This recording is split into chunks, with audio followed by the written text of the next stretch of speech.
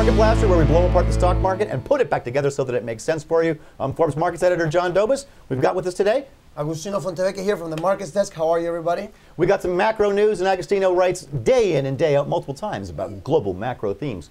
Zum Deutschland gehen wir am ersten, where in the Bundestag, the Parliament of Germany approved something that Angela Merkel really wanted, and it was to, designed to help Greece. Tell me about it. Well, it was completely necessary for them to approve this. Everybody knew it was going to happen. At the end of the day, what they said is that they have parliamentary approval for the second bailout of Greece.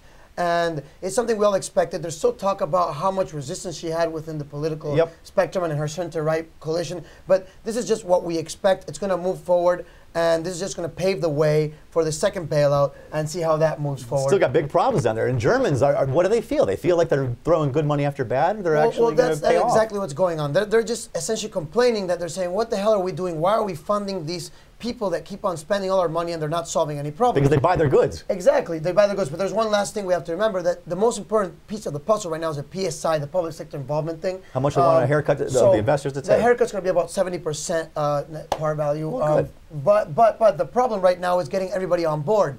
Um, they're expecting they need 95% of the people to be on. Uh, they're expecting it to be way lower, and they're going to have to use these collective action clauses (CACs), which are going to spark CDS, and there's going to be some trouble in the markets. But uh, I'm so frightened. I'm but. I'm not because on December 19th, the LTRO made gave them a three-year window in which they could operate and find some wiggle room. But what you're saying today is this was just something. If it didn't get passed, then we might have worried. But all and is still it well. will get passed because the Germans are pushing to get it passed. These LTROs, they call them litros in some places, a litro leader in. Uh, yeah, long-term refinancing. Uh, Yeah.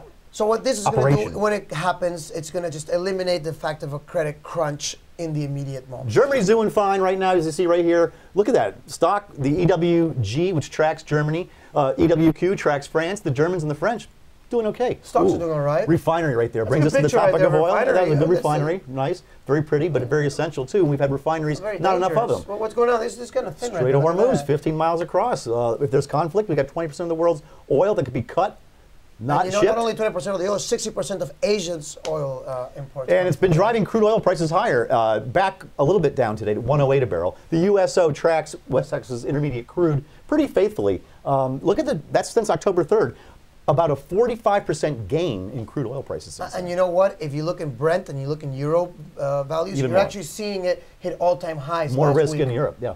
Uh, one way to play would, would be the oil services companies, right? Look at that nice run from about 36 bucks end of December to uh, 44, 45 bucks right now. Not bad. Right, right, and they, they, they benefit from a lot of activity, and there's a lot of offshore activity going on right now. So We got this guy Peter Way. He does a newsletter for us called Block Traders ETF. Uh, uh, uh, I'm sorry, he does an ETF letter and a golden energy report. This is the golden energy report. He ranks stocks based on how block traders at big trading firms hedge their exposure to them when they're trading them for big clients. And it work, it's worked out in the past very well. So here you have upside, uh, downside price risk here, and you have upside price reward here. What you want is something low and out to the right. So 16, 22, 10, those are good ones right here. One of them is the Continental. Christopher Walken? No, Continental Resources. nice little stock there. CLR, check out CLR. Berry Petroleum, another exploration and production company, ranked uh, pretty highly there for risk and reward trade-off. 54 bucks new high. Don't be afraid of the new heights. Swift Energy, SFY, we're talking about 31 bucks, pulled back from 35. Might be a chance here, resting at the uptrending 50-day average to jump in. So, oil, Germans, the economy's still doing well. I think everybody's going to be looking fine going forward. Risk on, baby.